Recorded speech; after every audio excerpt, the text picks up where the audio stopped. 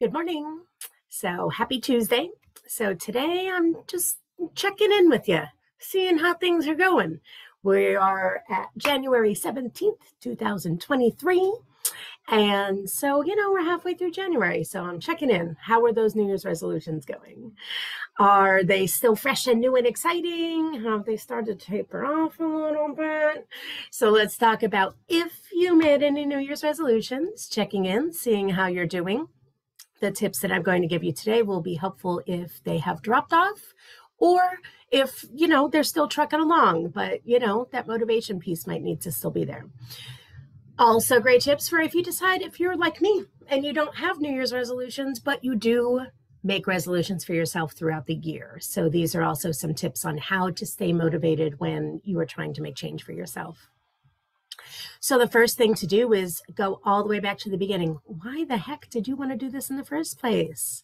Really, really, really looking at what is the inspiration? Why did you want to put this resolution in place in the first place? And get real about it. Get specific, not, oh, because I want to be healthier. I want to live a long time. No, no, no. Get real, real specific. Why? Why do you want this for yourself? Why do you want to be successful?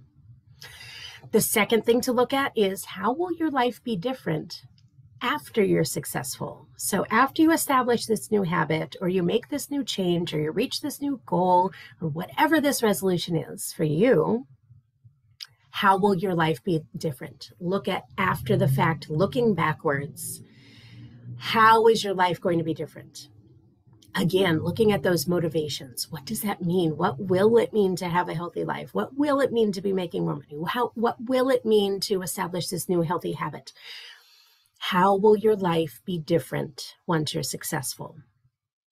And then the key is to remember these things in those times of lulls, those times of questioning yourself, procrastination, you know, looking for reasons to not follow through keep these lists handy. The longer the time goes, the the eh, they might be creeping in and they might be a little bit sneaky. These excuses that we use when we are either perfectionists or procrastinators, or oftentimes those things go hand in hand. So making sure that you have these motivational tools. Why did I begin doing this in the first place? How will my life be different after I'm successful?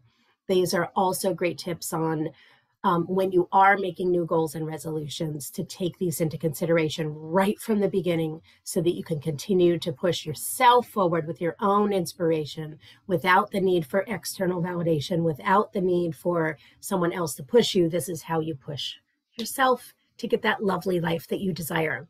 Let me know how it's going. Let me know how your resolutions are going.